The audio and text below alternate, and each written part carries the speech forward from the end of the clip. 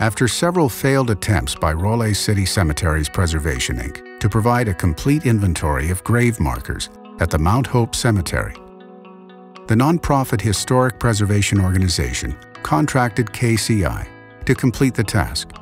KCI's Geospatial Solutions practice provided mapping and data collection of 1,500 grave markers located within the 11-acre historic section of the cemetery.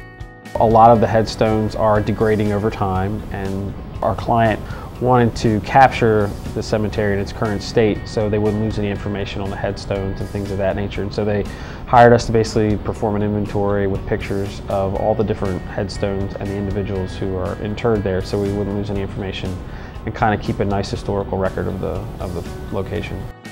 With the information captured, our team was able to deliver a fully searchable database of all headstone locations and related information, including birth and death dates of the interred individuals, and photos of each marker.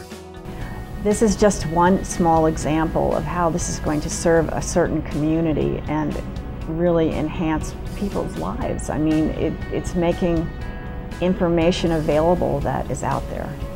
The new bank of knowledge will be readily available to family members, historians, students, and the public seeking to learn more about the historic cemetery, while also helping to preserve and share Raleigh's African American history.